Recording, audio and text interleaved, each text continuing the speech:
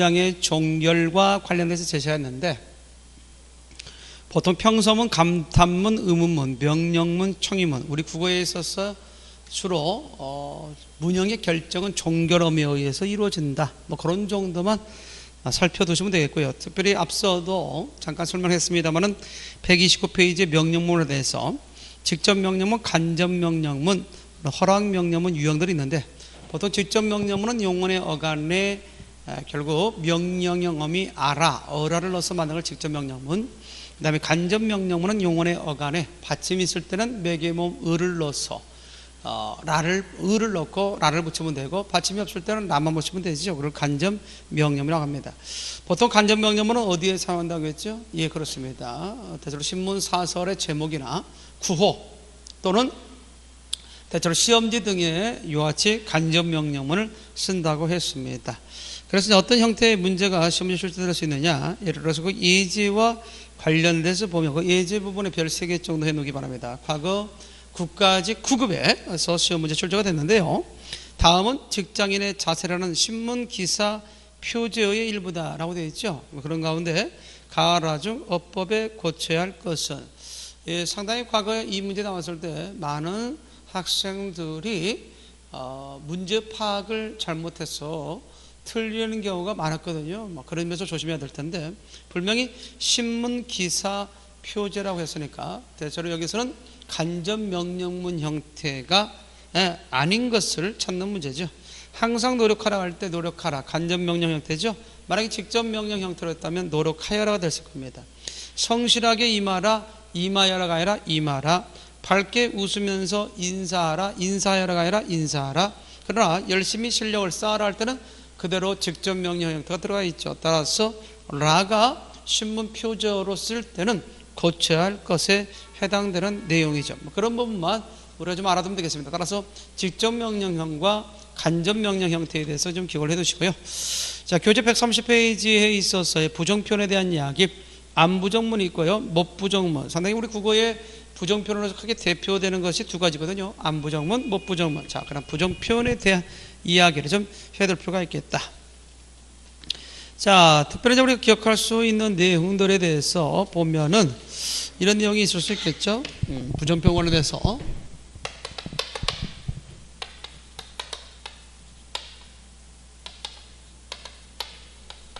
자, 우리 국어에서 부정표현은 안부정문. 그 다음에 못부정문. 이렇게 해서 부정표현이 두 가지가 있다. 이렇게 해서 부정표현에는 안부정문이 있고, 그 다음에 뭐가 있다는 점? 못부정문이 있다고 하는 것. 대체적으로 안부정문과 관련돼서는 이거는 주로 무엇을 부정하느냐. 의지와 관련된 걸 부정할 때. 의지와 관련된 걸 쓸 때는 안부정문을 쓰게 된다라고 하는 것을 기억하면 되겠어요. 자, 그리고 이 안부정문은 동사나 형용사, 동사, 형용사 둘 다 부정할 수 있다는 점. 동사, 형용사 둘 다 부정할 수 있다는 것이고, 못 부정문 같은 경우에 있어서는 어떤 능력, 능력이나 장애와 관련된 것, 능력이나 장애와 관련된 것을 쓸 때 못 부정문을 쓰게 된다. 못 부정문은 동사, 원칙적으로 동사만 부정합니다. 동사만 부정한다. 자, 이렇게 차이점을 둘 수 있겠습니다. 따라서 안부정문은 의지와 관련된 것, 의지와 관련된 것이 아니다면 어, 안부정문을 쓸 수 없죠. 의지와 관련된 대표적인 거, 의지와 관련이 없는 거 있죠. 뭐 깨닫다랄지, 알다랄지, 이해하다랄지, 그 다음에 견디다랄지 이런 것들은 대체적으로 의지와 관련이 없죠. 내가 의지가 있다고 해서 깨닫는 게 아니고 또 의지가 있다고 해서 견디는 게 아니죠. 그렇기 때문에 이것은 의지와 관련된 것이 아니다는 것을 알 수 있습니다. 그래서 깨닫다, 알다, 이해하다, 견디다는 각각 의지와 관련된 없으므로 이것을 깨닫지 않다 또는 안 깨닫다면 비문장이 되는 것이다. 라고 하는 것도 알고 있으면 되겠습니다. 자, 또한 못 부정 같은 건 동사만 부정하는 건데요. 하나씩 예를 한번 들어볼까요? 일단 안 부정부터 예를 들어보면 자, 동사, 형사 다 불정할 수 있는데 안 가다 또는 안 곱다 이렇게 해서 각각 동사와 형용사를 부정할 수 있다. 이것을 긴 부정문 형태로 고친다면 이게 뭐가 되겠어요? 가지 않는다, 가지 않다 이렇게 되는 것이고 이것도 역시 곱지 않다 이런 식으로 해서 될 수 있다는 것을 볼 수 있습니다. 이렇게 해서 동사, 형용사 둘 다 부정할 수 있다는 것을 기억할 수 있겠고 자, 못 부정 같은 경우는 동사만 부정한다. 그래서 못 간다. 이것을 긴 부정문 형태로 고치면 지야 못하다 형태로 고칠 수 있죠. 그래서 가지 못하다 이런 식으로 할 수가 있습니다. 자, 근데 여기서 주의할 것이 있습니다. 주의할 것. 앞서 우리는 못 부정문은 동사만 부정한다고 했는데 여기에서 야, 다음 같은 형용사를 형용사의 못 부정문이 나타날 때도 있다는 거죠. 예컨대 보면 예쁘다가 있습니다. 예쁘다에 대해서 이것의 못 부정문 못 예쁘다, 못 예쁘다 이런 식은 안 되죠. 그렇기 때문에 형용사를 부정할 수 없다는 원칙은 그대로 적용됩니다. 그런데 다음 같이 예쁘지 못하다, 예쁘지 못하다 이런 식으로 해서 이 경우는 형용사의 이런 식의 어떤 표현 어때요? 나올 수 있죠. 그래서 예쁘지 못하다 이 경우는 대체적으로 무엇을 드러낼 때 쓰느냐면 아쉬움을 드러낼 때 따라서 예쁘지 않다라고 하는 사실, 예쁘지 않다라고 하는 사실을 즉 예쁘다에 대해서 부정의 의미보다는 예쁘으면 좋았을 텐데 예쁘지 못한 것에 대한 아쉬움을 드러낼 때 이와 같이 형용사에 있어서도 못부정문이 나타날 수 있다라고 하는 것을 알고 있으면 될 것 같습니다. 자, 그래서 다시 한번 설명하면 안부정문은 아, 결국 의지와 관련된 걸 부정할 때 쓰는 것으로서 동사나 형용사 둘 다 다 부정할 수 있다. 그러나 못부정문은 동사만 부정하게 된다. 잘 기억해두면 되겠습니다. 그러나 형용사를 부정할 경우는 이와 같이 아쉬움을 드러낼 때 쓴다는 사실을 기억할 필요가 있습니다. 자, 더불어서 우리 하나 생각해 될 것이 있습니다. 다음 같은 내용이 있는데요. 자, 아니란 말과 뭐 우리가 소위 못이란 말을 썼을 때 다음 같은 것을 한번 생각할 수 있어요. 가다라는 동사를 통해서 공통적으로 안부조문이나 못부조문은 다 동사를 부정할 수 있으니까 동사의 하나의 예를 가지고 여러분들에게 접근시켜 보면 자 이와 관련해서 우리가 생각해 볼 수 있겠죠. 안 간다, 못 간다 되죠? 안 가는구나, 못 가는구나 되죠? 안 가느냐, 못 가느냐 됩니다. 자, 안 가거라 벌써 좀 어색하죠? 안 가거라, 안 가자 어색합니다. 일단 간다로 해야 되는 이것은 소위 우리가 평서문이죠. 가는구나 하는 것은 감탄문이죠. 감탄문. 가느냐라고 하는 것은 의문문이죠. 의문문. 가거라 할 때는 명령문이죠. 명령문이 된다. 가자라고 할 때는 청의문이 되죠. 자, 이렇게 해서 평서문이 있다, 감탄문이 있다, 의문문이 있다, 명령문이 있다, 청의문이 있다. 이렇게 해서 기억할 필요가 있습니다. 평서문, 감탄문, 의문문, 명령문, 그 다음에 뭐가 있다, 시적, 청의문이 있다라고 할 때, 이 관련돼서 얘기했을 때, 요 부분하고 요 부분, 즉 명령문과 청의문에는 안과 못이 올 수 없음을 확인해 볼 수 있어요. 그렇다면 우리 국어에 있어서의 부정표현을 만드는 데 있어서 다소 구멍이 생겼다 볼 수 있겠네요. 그렇다면 이 부분에 대해서는 어떤 것들이 그 자리를 갖다 대신해서 부정표현을 만들 수 있을까? 이 자리에는 우리가 뭘 사용하느냐면 말다를 사용한다는 점. 말다. 그렇게 해서 우리가 생각하면 가지 말아라. 자, 가지 말아라 또는 뭐 우리가 얘기할 수 있죠. 가지 마라. 가지 마 한다든지 또는 가지 말라. 아, 요 형태는 주로 직접 명령 형태. 직접 명령 형태로서 많이 쓰죠. 에? 해체나 해체 또는 말하라 말하라 해서 직접 명령 형태 또는 해체 형태로서 쓰고요. 말라 같은 경우가 이제 간접 명령 형태. 간접 명령 형태로 쓰는 것이다. 이렇게 해서 가지 말아라 가지 말라 또는 청유 형태로서는 볼 수 있어요. 그렇죠. 가지 말자라고 할 수 있죠. 이런 식으로 해서 우리가 기억할 수 있는 것은 뭐냐면 모든 문형의 이와 같이 안과 못이 와서 부정표를 만드는 게 아니라 명령형과 청유문에 있어서 즉 청유형에는 말다를 통해서 사용한다는 점 이거 잊지 말기 바랍니다. 잘하도요. 그래서 우리 국어에 있어서 부정표는 그게 안부정문, 못부정문 있고 거기에 그런 어떤 상보적, 어떤 보완적인 관계 속에서 명령형과 청유형에는 말다를 통해서 부정표를 만든다는 점. 그리고 이 말다는 명령과 청유만 온다는 사실. 그런데 이렇게 하나의 원칙이 세워지면 또 뭐가 드러나는 경우가 있느냐? 예외가 있어요. 말다가 말다가 명령형이나 청유형에만 오는 게 아니라 평서형에 올 때가 있습니다. 자, 이 말다가 평서형에 올 때가 있다. 그럼 언제 오느냐? 이 말다가 평성에 올 때는 바라다류, 바라다류의 용언, 바라다류의 용언과 만났을 때 올 수 있다. 말다가 바라다류의 용언과 만났을 때에 평생에 올 수 있다라고 이해할 수 있습니다. 자, 하나 예를 들어서 보면 나는 내가 여기를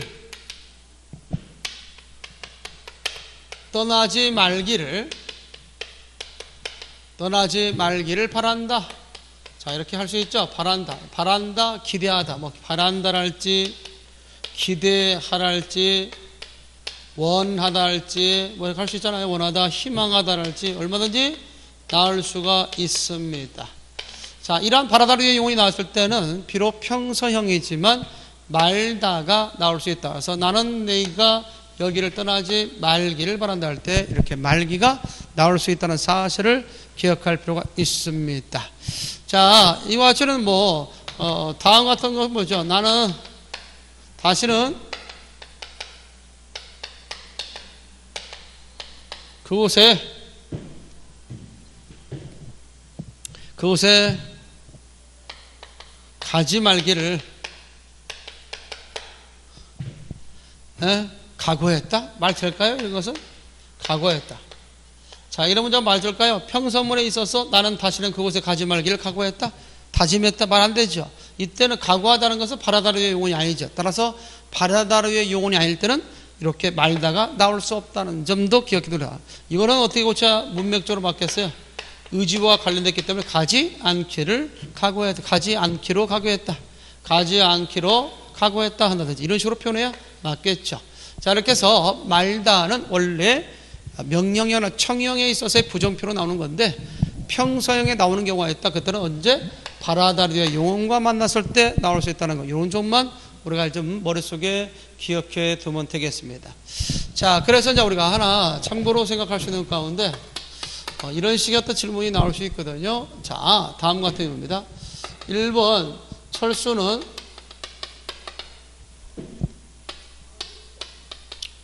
자, 철수는 그곳에 안 갔다. 철수는 그곳에 안 갔다는 표현이 있겠고, 자, 영희는, 영희는 또는 그곳에, 그곳에, 영희는 그곳에 가지 못했다. 영희는 그곳에 가지 못했다는 표현이 있죠. 이렇게 해서 안 갔다는 표현이 있고, 영희는 그곳에 가지 못했다는 표현이 있습니다. 이런 식으로 우리가 구분을 좀 해둘 수 있다는 것이고, 그 다음에 세 번째와 아, 관련돼서 우리가 생각할 수 있는 게 뭘까? 철수는 그곳에 안 갔다, 영희는 그곳에 가지 못했다, 이런 표현들. 안 갔다는 표현, 영희는 그곳에 가지 못했다는 표현, 이런 부분에 대해서 이제 생각을 해둬야 되겠고요. 세 번째와 관련돼서 이해가 하셨다면, 영희는 영희는 이렇게 할 수 있겠죠. 집에 없었다. 집에 없다. 라는 표현이 있겠고, 다음 네 번째는 철수는 철수는 학생이 아니다. 철수는 학생이 아니다. 이런 문장이 있다고 합시다. 자, 이렇게 해놓고 시험 문제 이렇게 나올 수 있습니다. 다음 중에서 부정 표현이라 볼 수 없는 것은 뭐냐? 부정표현이라 볼 수 없는 것은 어떻게 답할까요? 철수는 그곳에 안 갔다. 영희는 그곳에 가지 못했다. 영희는 집에 없다. 철수는 학생이 아니다 할 때 부정표현이 아닌 걸 찾는 문제에서 답은 몇 번이냐면 3번이라고 해야 돼요. 저 영희는 집에 없다라고 할 때 이 없다라고 하는 것은 있다에 있어서 반대말이지 부정표현은 안 된다. 따라 존재의 유무성을 드러내는 있다의 반대말은 없답니다. 그러므로 우리가 영희는 집에 있다. 영희는 집에 있다. 자, 이런 문장에 있어서 이것의 부정표현은 뭐냐 나오면 없다가 아니라 있지 않다. 영희는 집에 있지 않다. 라고 해야 맞다는 점. 이해할 수 있겠습니까? 그래서 있지 아니하다, 있지 않다. 이것이 부정표현이 된다는 점. 그러므로 시험리 가운데 부정표현이 아닌 걸 찾아라면 이와 같이 없다가 부정표현이 아니라는 점이고 그렇다면 이것은 뭐냐? 이거는 학생이다라고는 명사고 뭐, 즉 서술격처 이다를 통해서 된 학생 이다. 이다의 부정은 아니다로 될 수 있다는 점도 알아들어 따라서 이다의 부정 이다의 부정은 아니다가 된다는 사실도 아울러 생각해 두면 되겠습니다. 이런 것들이 이제 우리가 알아야 할 것 중에 하나다라고 생각됩니다. 자, 지금까지 이제 뭐에 대해서 배웠습니까? 그렇죠. 부정 표현에 대해서 배웠습니다. 이 부분에 대해서 확실하게 좀 기억을 해 두시고 여기서 팁으로 하나만 더 생각해 둔다면 이 부분에 대해서 주의를 좀 해둘 필요가 있겠네요. 팁으로 생각하면 다음 같은 내용도 알면 되겠습니다. 자, 음절수가 길어지는 하다 계열이 있어요.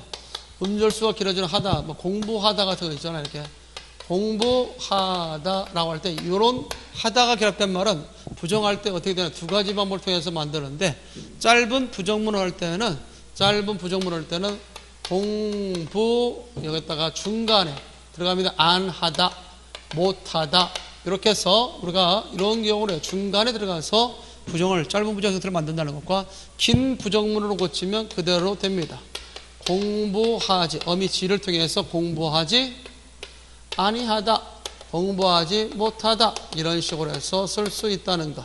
자 이런 것들도 우리가 알면 되겠어요. 하다와 결합된 말은 이와 같이 짧은 부정문을 만들 때는 중간에 들어서 쓸 수 있다고 하는 것을 기억해 두시고요. 또 하나 우리가 기억할 수 있는 것이 있습니다. 띄어쓰기와 관련해서 아직 맞춤법에 대한 이야기는 하지 않았습니다만은 앞으로 이제 띄어쓰기에 대한 어문 규정에 대해서 이야기할 때가 있을 텐데요. 이런 띄어쓰기 부분에 있어서 기억할 수 있는 것은 원칙은 원칙은 우리 단어 중심으로 띄었으니까 안이 나오든 못이 나오든 뒤에 용언이 나오면 용언이 나오면 반드시 띄었어야 맞습니다. 자 그런데 이런 아니란 말과 못이라는 말의 부정의 의미가 약할 때 본래의 의미로 사용되지 않을 때 본래의 기능의 의미가 없을 때는 아, 하나의 단어로서 취급하지 말고 뒷말과 붙여 쓰는 경우가 있습니다. 대표인 가운데 안 되다. 그 다음에 못 되다. 못하다. 자, 이때 안 되다가 뭘 나타날 때? 안타까움을 나타낼 때. 안타까움을 나타낼 때, 못 되다, 못 하다가 주로 나쁘다는 의미로 쓸 때. 이런 경우는 띄어 쓰지 않고 하나의 단어로 붙여 쓴다라고 하는 사실도 아울러 알아두면 되겠고, 또 하나 우리가 기억하면 안 되어도, 안 되어도, 이거 줄이면 뭐가 되냐면, 안 돼도가 됩니다. 안 돼도 자, 이 안돼도가 어떤 의미를 가질 때 적어도 이런 의미를 가질 때는 이것도 역시 안의 의미가 강하게 나타난 것이 아니니까 한 단어로 붙여 쓴다는 것. 물론 띄어쓰기 할 때 다시 한번 강조하겠지만 일단 안과 못은 부정부사. 그렇기 때문에 그 뒤에 오는 용언과 띄었어야 원칙적으로 맞습니다. 그런데 이렇게 안과 못의 의미가 약화되어 본래의 의미로 쓰이지 않을 때는 오히려 띄었음으로써 읽는 사람으로 하여금 의미적 혼란이 야결시, 혼란이 의미적 혼란을 야결시킬 수 있으니까요. 이런 부분에 대해서는 붙여 쓴다. 이런 것도 하나의 팁으로서 알아둘 필요가 있습니다. 자, 일단 이런 정도까지 이야기를 해 두시면서 여기서 하나 첨가적으로 또 하나 볼 것이 있습니다. 세 번째입니다. 팁. 세 번째, 어, 세 번째 부분에 대해서는 이쪽으로 다 옮겨서 생각해 보도록 하겠습니다.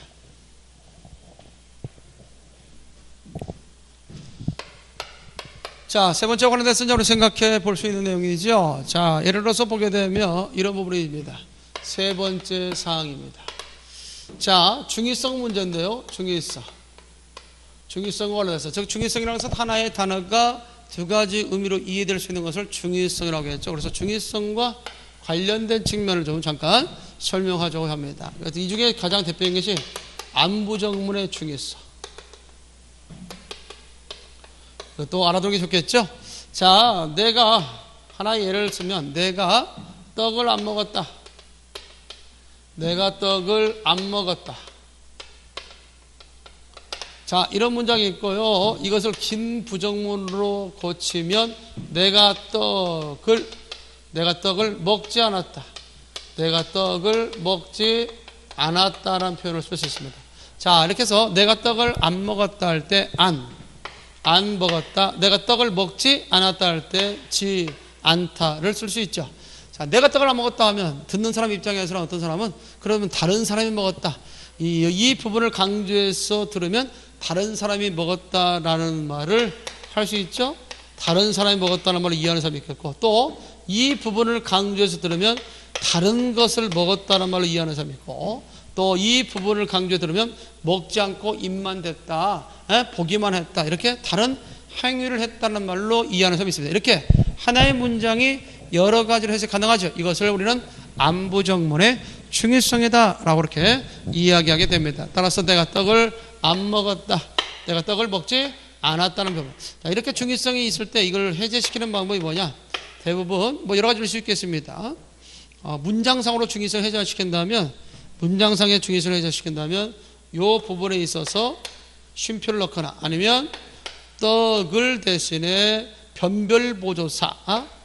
은이나 는을 넣는다. 이것은 이제 은을 넣으면 되겠죠. 그 다음에 지 다음에 는이 들어갔으면 자 내가 떡을 먹지는 않았다 한다든지 아니면 내가 다음에 쉼표를 넣어서 나를 강조하든지 아니면 떡을 강조하기 위해서 변별보지사 은는을 사용한다든지 이렇게 하면 중의성이 해제됐다. 보통 시험 문제에 있어서 중의성의 문제 용어로 나올 때는 대체적으로 내가 떡을 먹지 않았다 이런 식으로 많이 나오고요. 거기에 따라서 해제된 문장, 중의성이 없는 문장은 뭐냐? 그럴 때는 내가 떡을 먹지는 않았다, 먹지는 않았다 이런 표현이 시험에 잘 나온다는 사실을 기억할 필요가 있습니다. 야, 이런 부분에 대해서 주의를 좀 해두라는 차원에서 여러분들 설명했고요. 하나만 더 한다면 이것도 좀 알아두는 것이 좋습니다. 수량 부사에 한 중의성. 자, 이것도 좀 알아두는 게 좋은데요. 수량 부사한 중의성으로 대해서 보면 대표인 것 중에 뭐 여러 가지 있으면 모두란 말도 있고 다다 다도 있고 그러는데 그 중에 어, 다음과 같이 내 하나의 예를 들어서 보면 내가 초대한 손님이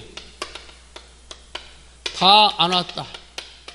자, 내가 초대한 사람이 다 안 왔다가 있고 이거에 대해서 오지 않았다 할 수 있습니다.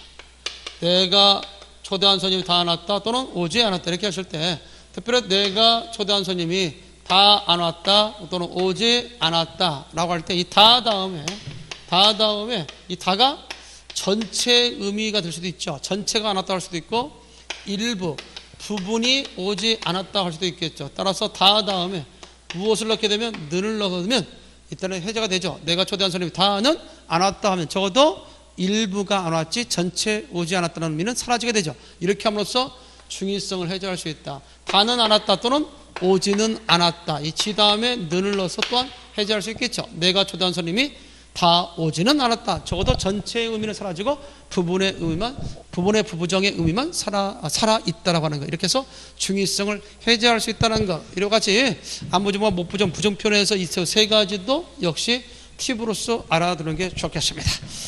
자, 그런 내용들을 중심으로 해서 생각하면 되겠습니다. 자, 일단 마저고요. 교재 이제 132페이지 문장의 짜임쉐에 대해서 우리는 앞에서도 뭐 설명을 좀 했는데요. 문장의 짜임새에 관련된 내용에 대해서 이해하도록 하겠습니다. 문장의 짜임새에 관련된 내용이죠.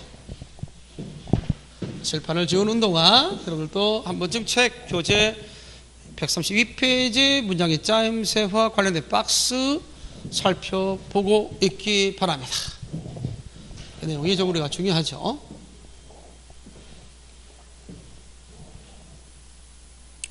자, 지우고 좀 설명하도록 하겠습니다.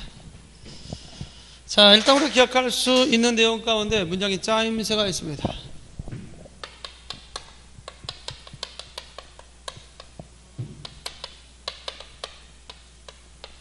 자, 문장의 짜임새. 문장의 짜임새는 문장의 유형 또는 문장의 짜임새라고 얘기하는데 그게 두 종류가 있죠. 교재도 있지만 혼문장이 있다. 다음에 겹문장이 있다. 혼문장과 겹문장 이렇게 구분할 수 있거든요. 혼문장 같은 경우에 있어서는 주어, 주어, 서술어 관계가 한 번 되는 것을 혼문장으로 주어 플러스 서술어 관계가 한번 되는 혼문장으로 하고 겹문장 같은 경우에 있어서는 주어 플러스 서술어 관계가 두 번 이상 될때 겹문장을 합니다. 이렇게 해서 혼문장과 겹문장으로 나눠서 설명할 수 있다. 혼문장은 주어 플러스 서술어가 한 번 되는 거고 겹문장은 주어 플러스 서술어가 두 번 이상 되는 것을 겹문장을 한다. 특별히 그 겹문장에 있어서는 그게 두 가지가 있는데 하나는 아는 문장이 있고 아는 문장이 있고 또 하나는 이어진 문장 이렇게 해서 아는 문장과 이어진 문장으로 구분해서 나눌 수 있겠다. 아는 문장 같은 경우는 그게 다섯 가지가 있죠. 다섯 가지요. 자, 교재에도 있습니다. 잘 알아요. 아는 문장은 또 다른 문장을 안고 있는 전체 문장을 아는 문장이라고 얘기하는데 거기에는 첫 번째 명사절, 두 번째 우리가 관형절, 그다음에 부사절, 그 다음에 서술절, 뭐 인용절. 자, 이런 식으로 해서 우리가 다섯 개의 절을 설정할 수 있습니다. 이어진 문장에 있어서는 우리가 기억할 수 있어야 되겠죠. 하나 한다면 대등적 연결 어미로 이어진 문장, 그래서 대등적으로 이어진 문장. 대등적으로 이어진 문장이다. 이렇게 해서 정리해 볼 수 있겠고. 그 다음에 두 번째는 종속적으로 이어진 문장. 종속적으로 이어진 문장. 하나 더 한다면 접속조사로 이어진 문장. 접속조사로 이어진 문장. 이렇게 해서 그게 이어진 문장 형태는 세 가지 유형이 있다 봅시다. 자, 이렇게 해서 이제 아는 문장과 이어진 문장. 그렇다면 시험 문제 가장 기본적으로 출제될 수 있는 내용이 뭐냐? 혼문장이냐, 견문장이냐라는 문장의 짜임을 묻는 문제가 나올 수 있겠고, 견문장이라면 아는 문장이냐, 이어진 문장이냐, 그것을 구분하는 유형의 문제가 시험에 출제된다라고 볼 수 있습니다. 자, 그렇다면 일단 우리가 생각해 될것 가운데 여러분들의 교재에도 뭐 제시가 되어 있습니다만은 자, 다음 같은 내용들에 대해서 이 얘기할 수 있거든요. 자, 거기 아는 문장원에 대해서 보면 132페이지에 아는 문장, 어떤 문장이 또 다른 어떤 문장을 아는 문장을 말하는데 나는 휘연이가 합격하기를 기다린다라고 할 때 나는 기다린다. 뭘 기다리냐? 휘연이가 합격하기. 휘연이가 합격하다. 어때요? 주어 플러스 서술 되죠? 이와 같이 주어 플러스 서술로 되는 형태의 휘연이가 합격하기를 문장을 또다시 안고 있다는 점에서 아는 문장, 안겨 있는 문장을 안긴 문장, 안긴 문장을 안고 있는 전체 문장을 아는 문장이라고 얘기할 수 있겠습니다. 자, 거기에 보면 나는 이 주어고요. 효연이가 주어, 합격하기가 그 밑에 서술어가 돼야 되겠죠. 그리고 기다린다가 또한 서술어. 이렇게 해서 되어진다는 사실을 기억할 필요가 있습니다. 자, 그렇다면 좀 더 우리가 구체적으로 어떻게 우리가 되는 건가에 대해서 살펴두는 것이 좋을 것 같은데요. 일단 명사 절과에 대해서 여기다 좀 빼서 하나 좀 설명하도록 할게요. 자, 여기다 우리 제시할 수 있는 것 중에서 첫 번째로 명사절이 있다면 명사절은 주로 절이라고 하는 것에 대해서는 이야기하겠죠. 어, 두개 이상의 어절에 만나서 문장 내에서 일정 성분 기능하면서 주어 플러스 서술로 관계되는 것을 절이라고 얘기했죠. 자, 그 중에 명사절은 문장 내에서 어떤 성분이 역할을 하냐? 주로 주어 역할을 한다든지 목적어 역할을 한다든지 아니면 부사어 역할을 한다든지 이런 역할을 하는 게 명사절이다. 그럼 명사절의 형성 방법은 주로 어떻게 될까? 명사절의 형성 방법과 관련돼서 얘기할 수 있는 것은 뭐냐면 일단 우리가 생각해 될 내용이 있죠. 하나 이거 주어가 있다. 그럴 때 이제 주어 다음에 용언의 어간이 나오는데 용언의 어간에 용언의 어간에 뭐가 들어가느냐?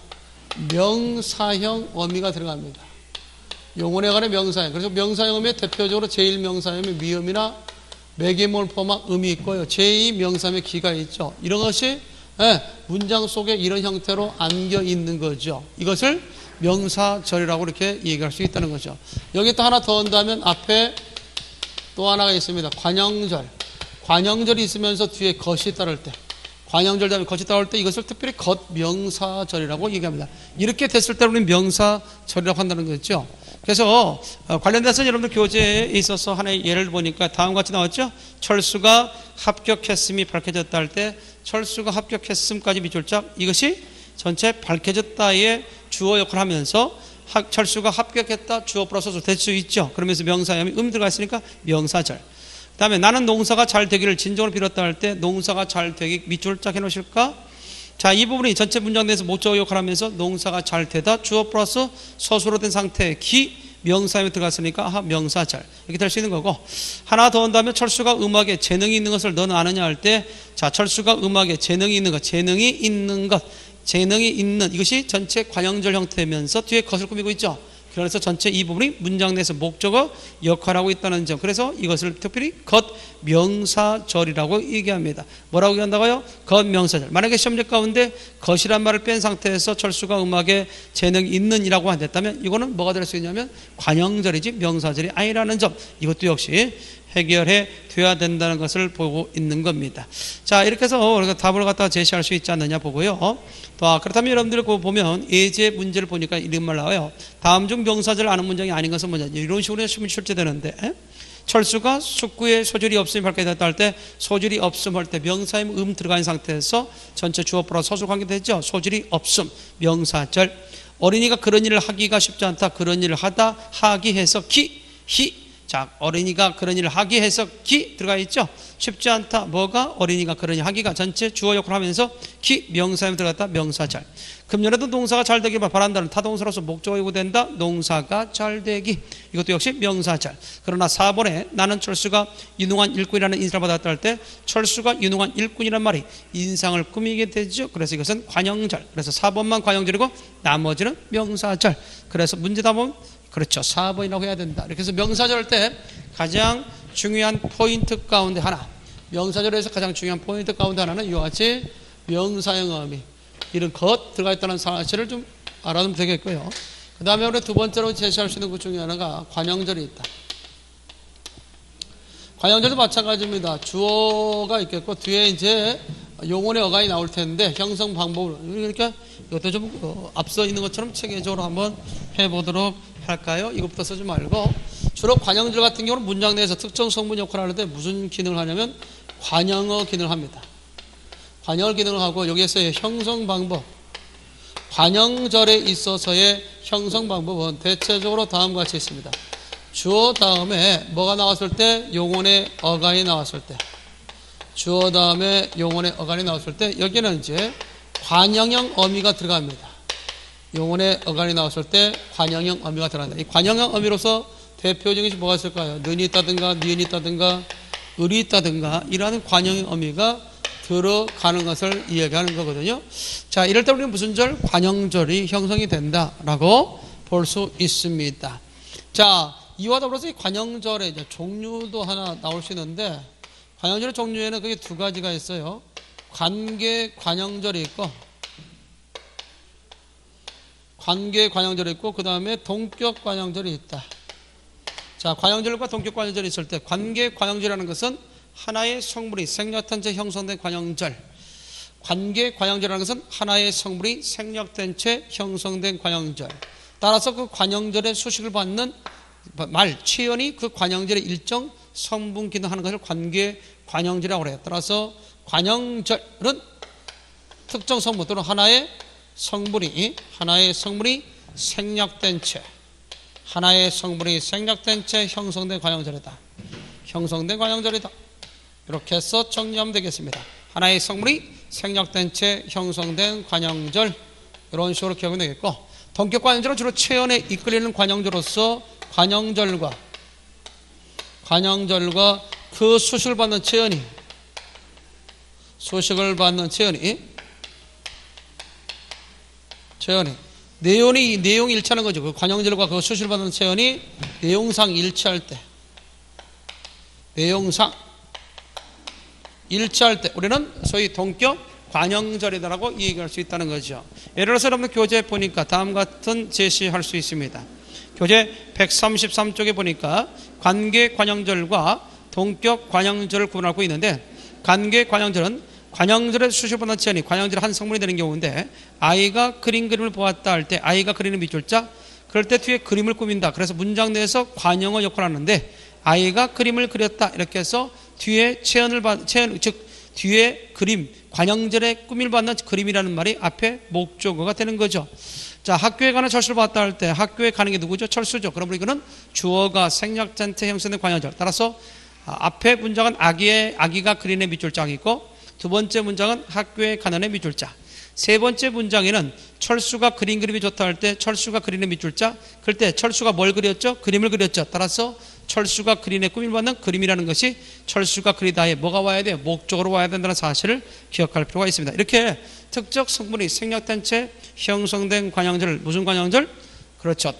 관계 관형절이다라고 얘기할 수 있는 거죠. 반면에 동격 관형절이라는 것은 관형절의 피수식어가 관형절 한 성분이 아니라 관형절 전체의 내용을 받아주는 관형절. 다시 말해서 관형절과 그 수식을 받는 체언이 내용상 일치할 때를 뭐라고 얘기한다? 동격 관형절이다 이렇게 얘기할 수 있는 거죠. 철수가 합격했다는 소식을 금방 들었다 할 때 소식은 어떤 소식입니까? 철수가 합격했다는 소식이죠. 따라서 관형절과 그 수식을 받는 체언이 일치할 때 내용이 일치할 때를 관, 동격 관형절이다 라고 얘기하게 됩니다. 이렇게 해서 관형절에 대한 이야기. 가끔 시험 문제는 무엇과 무엇을 구분하는 문제, 관계 관형절과 동격 관형절을 구분하는 문제 나올 수 있겠고 또 때에 따라서는 관계 관형절을 선택한 상태에서 그 관형절의 수식받는 체험이 그 관형절에 어떤 성분 역할을 하느냐에 묻는 문제가 시험에 나옵니다. 앞서 설명했던 것처럼 아이가 그림 그림할 때 그림은 목적어 역할을 하는 것이고 학교에 가는 철수할 때 철수는 앞에 관양절에서는 주어 역할을 해야 된다. 이런 식으로 해서 기능을 묻는 문제가 더러 시험 문제 출제될 수 있으니까 그것도 알아두는 게 좋겠습니다. 자, 이박해적으로 기억할 수 있는 가운데 세 번째로서 하나 설명한다면 부사절에 대한 이야기를 좀 해볼까 합니다. 그래서 세 번째 부사절에 대한 이야기. 자, 부사절은 문장 내에서 부사어 기능을 합니다. 부사어 기능을 한다는 걸 알아두시고요. 그러면서 부사절은 다음 같은 어, 주어 플러스 서술어 기능을 하는데 용언의 어간 용언의 어간이 있는데 주로 여기에 이제 뭐가 들어가냐 부사형 어미가 들어갑니다. 부사형 어미가 들어가서 전체적으로 이것이 용언의 어간 플러스 부사형 어미가 문장 내에서 이것은 다 서술어 기능을 하는 거죠. 이렇게 함으로써 하나의 문장이 되어서 어, 문장 속에 안겨 있을 때를 부사절이라고 합니다. 이때 부사형 의미 가운데는 그게 두 가지 정도가 있는데 하나는 2개월이 있고 2개월 2개월 있고 하나는 이제 우리가 기억했을 때 개, 도록, 듯이 개, 도록, 듯이 아서 이러한 것들이 있다. 그래서 2개월과 2개월과 개, 도록, 듯이 아서가 있다는 것을 기억할 필요가 있습니다. 자, 특별히 우리가 여기다가 좀 뺄까요? 공간이 좁아서 좀 빼서 할 테니까요. 이때 2개월에 있어서 가장 대표적인 것이 뭐가 있느냐? 없이. 여러분 교도 있죠? 없이가 있다든가, 달리가 있다든가, 그 다음에 가치가 있다든가, 몰래가 있다든가. 이런 것들이 이제 우리가 대체적으로 2개월이라고 볼수 있습니다. 그래서 없이는 없다에서 나왔죠? 없이는 없다에서 나왔고요. 달리는 다르다에서 나왔습니다. 그 다음에 가치는 같다에서 나왔다는 점. 그 다음에 몰래라는 것은 모르다에서 나왔다는 점. 이렇게 해서 없다에서 나왔다, 없이. 다르다에 나와서 달리, 같다에서 나왔다, 같이, 모르다에서 나왔다, 몰래. 이 부분에 대해서 우리가 주의를 좀 해 둘 수 있어야 되겠다. 네, 이런 것들이 이제 더러 시험 문제 출제될 수 있죠. 그래서 없이, 달리, 같이, 몰래와 하는 데서 하면 되겠다. 자, 예를 들어서 이거 좀 조심할 필요가 있습니다. 예를 들어서 이게 보면 비가 소리 없이 내리다. 자, 비가 소리 없이 내리다라는 문장이 있다고 봅시다. 여기에서 이렇게 할 수 있는 소리가 없다. 주어 플러스 되죠? 그러면서 이것이 내리다를 꾸미죠. 따라서 내리다는 용언으로서 소리 없이는 이 자체가 하나의 절로서 부사어 기능을 하면서 내리다를 꾸미게 됩니다. 그럴 때 이 없이가 앞에 대응하는 소리에 대해서 서술어 기능을 하는 거죠. 이거에 대해서 다음 같은 것을 조심할 필요가 있습니다. 없이 산다고 하나의 예를 들어서 없이 산다고 무시하지 마. 없이 산다고 무시하지 마. 이렇게 할 때 이때 없이라고 하는 것은 앞에 대응되는 주어도 없거니와 이때 없이가 서술어 기능을 할 수도 없죠. 여기에 대해서 산다를 꾸밉니다. 그러므로 이때 없이라고 하는 것은 그 자체가 부사로서 그 자체가 부사로서 부사어 기능하는 것으로서 이것은 서술어 기능을 하기 않기 때문에 부사절로 보면은 틀리게 된다는 것. 이것도 머릿속에 좀 넣어둘 필요가 있겠다라는 것이겠죠. 자, 그 다음에 우리가 하나만 더 덧붙여서 설명한다면 다음 같은 것이 있어요. 개, 도록, 듯이 아서와 관련해서 얘기했을 때. 자, 어, 너는, 너는 차가 지나가게. 너는 차가 지나가게. 아, 길을 비켜라. 너는 차가 지나가게 길을 비켜라. 요게 있을 수 있겠죠. 거기에 대해서 이제 우리가 생각해 본다면 차가 지나가다 길을 비키는 주체는 너지요. 근데 지나가다 주체는 뭡니까? 차지요. 그러니까 전체 문장 속에 안겨 있으면서 이것이 뒤에 길을 벽해라고 하는 일종의 서술구를 꾸미게 되는 거죠. 그렇다면 중요한 것 중에 하나가 뭘까요? 지나가게 할 때, 지나가게 할 때 개라는 것이 어미. 따라서 이 문장을 부사어로 이끌게 하는 부사형이다라고 볼 수 있는 거죠. 이럴 때는 우리가 부사절이라고 그래요. 그런데 요거 조심할 것이 있습니다. 자, 뭐가 있느냐면 차가 지나가게 이런 식으로 될 때가 있어요. 차가 지나가게. 차가 지나가게 너는 너는 길을 비켜라 이렇게 했을 때이 이것은 두 개의 문장이 이어졌다 볼 수 있죠. 주어 서술어 주어 서술어 이런 식으로 해서 이어지는 문장이 되기 때문에 이때 우리가 기억할 수 있는 것은 뭐냐? 이거는 왜네 길을 비켜야 되겠죠? 그렇죠. 차가 지나갈 수 있도록 그러므로 이때는 이유가 되죠. 즉 앞문장이 뒷문장에 대해서 이유 또는 원인, 조건, 뭐 배경, 양보 이렇게 되면 이걸 갖다 뭐라고 하느냐? 종속적 이때의 개는 종속적 연결어입니다. 종속적 연결 어미로 취급돼서 이 문장은 종속적으로 이어진 문장이다. 따라서 여러분들이 여기서 기획해야 될 것은 이때의 개는 문장 속에 안겨 있을 때 이 개는 부사형 어미. 이때 부사형 어미로 쓰일 때 우리는 뭐라고 한다?